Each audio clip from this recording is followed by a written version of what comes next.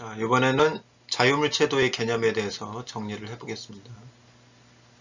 어, 자유물체도는 고려하고자 하는 물체의 전부 또는 일부분을 주변 물체로부터 분리시킨 후에 분리된 부분에 작용하는 힘을 작용하는 모든 힘을 나타낸 그림을 말한다. 음, 예를 들어서 아까 단순보를 한번 생각을 해보죠.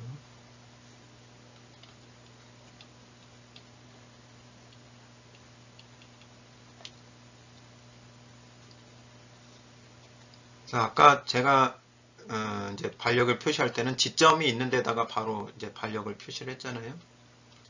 엄밀히 이야기하면 어, 물론 이렇게 해, 한다고 해서 뭐 그렇게 틀린 건 아니지만 이 자유물체도라는 개념을 정리를 해보면 어, 적용을 해보면 뭐가 더 이제 바람직하냐? 여기에다가 이제 반력이 주는 힘을 어, 반력 요 지점을 제거를 해버리는 거죠 이렇게. 자유물체도의 개념을 하면. 그러면 어떤 힘이 바로 작용이 되냐면 이렇게 이렇게 이렇게 되는 거죠. 예. 이렇게 놓고선 반력을 계산해도 돼요.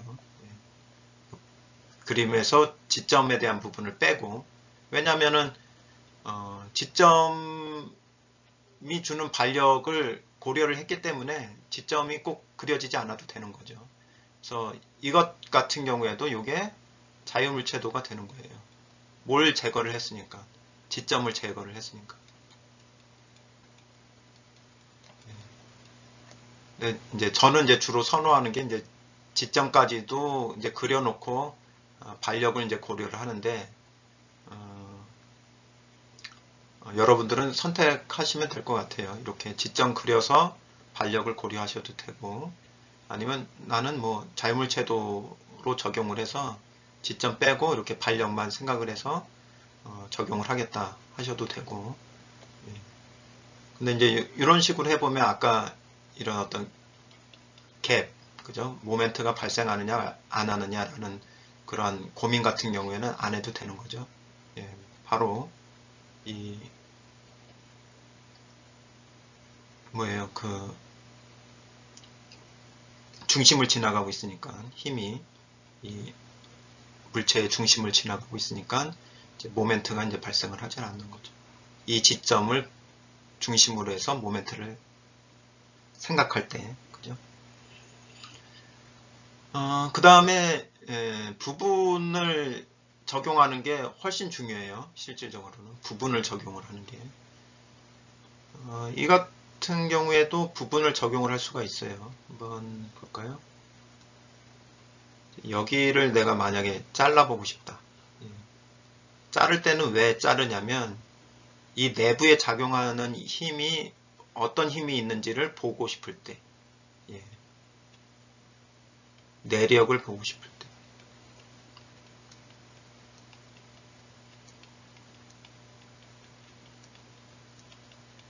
자, 반력은 외력인가요? 내력인가요? 반력은 외력입니다. 왜요? 물체의 바깥쪽에서 작용을 하고 있으니까. 예. 내력은 물체의 내부에서 작용하는 힘이에요. 근데 내력을 보려면 그냥은 보이질 않고 잘라봐야지 보입니다. 잘라봐야지 보여요. 그래서 어, 이 같은 경우에는 부분의 free body diagram은 이렇게 되는 거죠.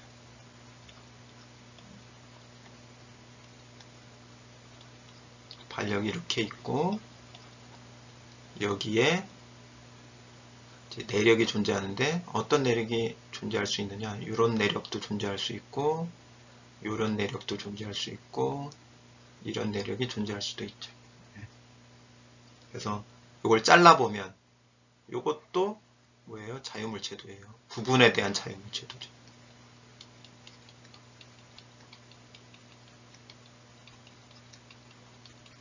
네, 자유물체도.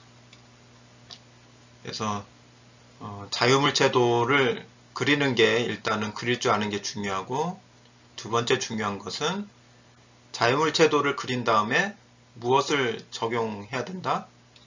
힘의 평형을 적용을 해야 된다.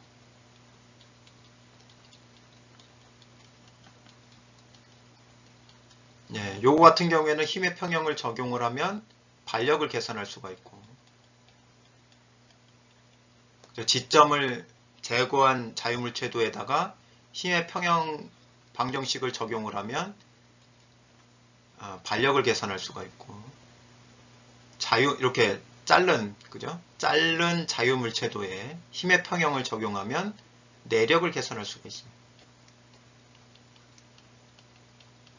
네, 이런 이런 내부에 작용하는 힘, 이걸 내력이라고 합니다. 이러한 그 맥락을 좀 이해해 주시면 좋겠습니다.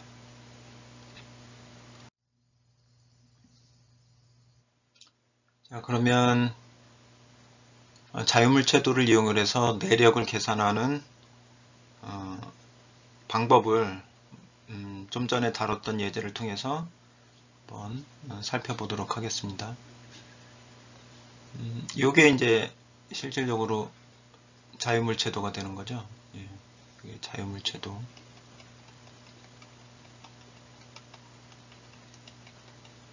요것도 이제 자유물체도가 되는 거고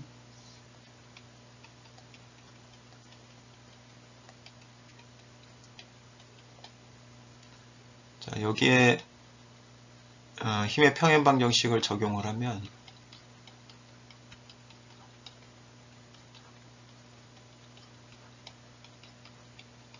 뭘 구할 수 있다고 그랬죠? 내력을 이제 구할 수가 있다. 내력을 구하려면은 내력을 표시를 해야 되잖아요. 그죠? 그래서 내력을 표시하는 방법을 말씀드리도록 하겠습니다.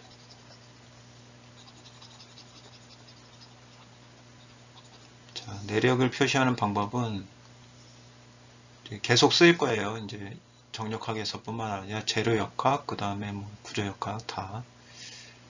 먼저 이제 전단력, 전단력은 이제 부재를 자르려는 힘이죠. 플러스 전단력은 요 방향입니다. 요게 플러스예요. 그 다음에 축력은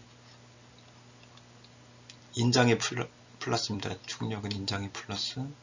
그 다음에 모멘트는 이렇게 부재를 중심으로 이런 방향이 플러스 방향이 되니까 내력을 표시를 해보면 전단력은 요 방향 그죠? 부재 부재로 보면 요 방향이잖아요 그죠?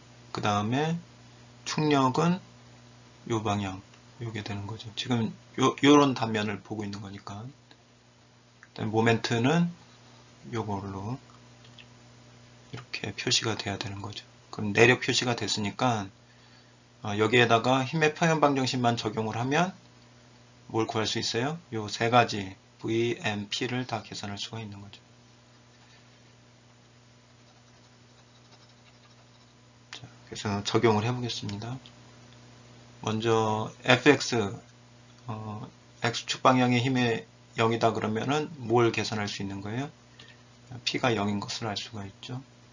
그 다음에 어, y 방향 y방향의 힘을 어, 힘의 합력이 0이다라는 걸 적용을 해보면 4kN 여기 있죠? 4kN 4kN 있고 그 다음에 어, 여기 아랫방향으로 V가 있죠. 그래서 요거는 상향을 플러스로 놓은 거예요. 상향을 플러스로. 그래서 여기가 플러스가 된 거고 여기 마이너스가 들어간 거죠.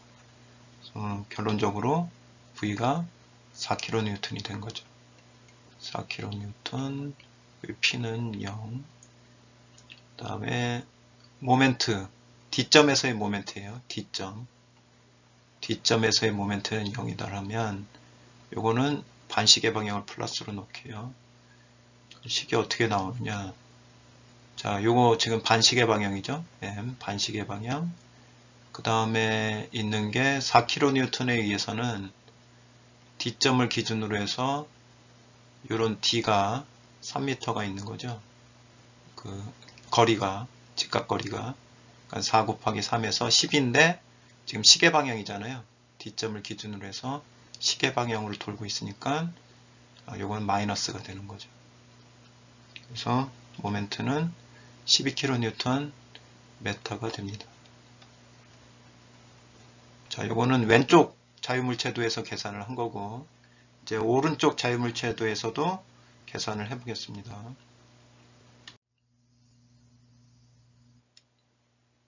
자, 오른쪽 자유물체도에서는 여기서도 내력을 표시를 해야 되는데 내력 표시 기준을 다시 한번 그려볼게요.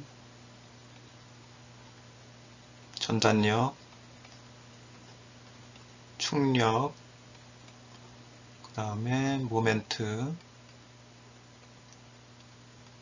자, 여기서는 이제 표시를 할 때 지금 이쪽 면이죠. 지금 얘가 이렇게 보고 있으니까 이쪽 면, 이쪽 면.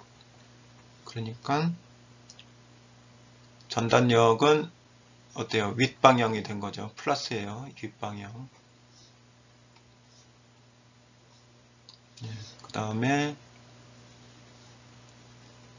충력. 충력은 여기 요거 적용이 된 거고 그 다음에 모멘트는 요게 적용이 된 거죠. 일단 플러스 방향으로 놓고 계산이 돼서 플러스면은 원래 어, 생각했던 방향이 맞는 거고 마이너스가 나오면 원래 생각했던 방향에서 반대 방향으로 잡아주면 되는 거죠.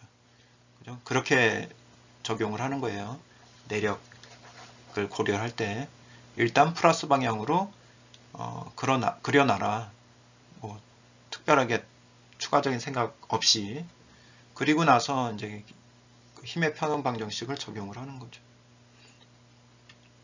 먼저 X방향 적용해 보면 지금 X축 방향으로는 힘이 P밖에 없잖아요. 그러니까 P는 0이 되는 거죠. 그 다음에 Y방향, Y방향은 지금 힘이 요게 있고 요게 있죠. 그러니까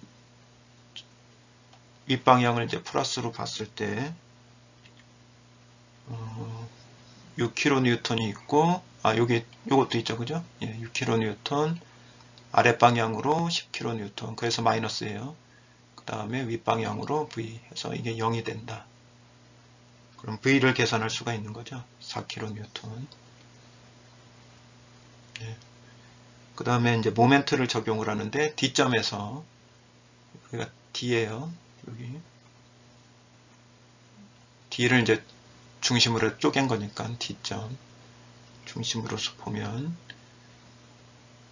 이게 지금 음, 반시계 방향을 이제 플러스로 놓고 지금 반식 요거 m이 지금 시계 방향이죠. 그래서 마이너스가 붙었고 10kN도 시계 방향에 모멘트를 발생시키니까 마이너스가 붙었고 10 곱하기 3m 그 다음에 6kN 6kN이 지금 반시계 방향의 모멘트를 발생시키죠. 그러니까 7m 6 곱하기 여기서부터 여기까지가 7m 그래서 힘의 평균 방정식을 정리를 했고 이것으로부터 모멘트를 계산할 수가 있죠. 예, 그래서 아까 계산했던 모멘트하고 똑같아요. 그래서 이쪽으로 구하나 저쪽으로 구하나 같은 모멘트가 나와야 됩니다. 만약에 다른 모멘트가 나왔다 그러면 어딘가 문제가 생긴 거예요. 잘못 계산이 된 거죠. 그래서 최종적으로 보니까 어, 전단력 그 다음에 충력 그죠 그리고 모멘트 이렇게 표시를 해서 계산을 해보니 P는 0이 되었고 V는 4kN 플러스가 나왔으니까 이 방향 그대로가 맞는 거죠 그죠 원래 이게 이 방향이라고 생각했는데 플러스가 나왔으니까 이 방향이 맞는 거고 그 다음에 12kNm가 이제 모멘트로 됐는데 이게 플러스 값이잖아요. 그러니까 원래 생각했던 값이 맞다는 얘기예요. 그러니까 요 방향이 맞는 거예요. 그래서 내력을 다 계산을 했습니다. 만약에 계산했는데 마이너스 값이다 그러면은 어, 방향을 바꿔줘야 되죠. 그죠? 예. 그래서 오늘은 이제 자유물체도까지 어, 정리를 해봤고요. 어, 다음 시간에는 그 무게중심하고 도심에 대한 것까지 좀 더 해본 다음에 재료학 그 들어가 보도록 하겠습니다. 예.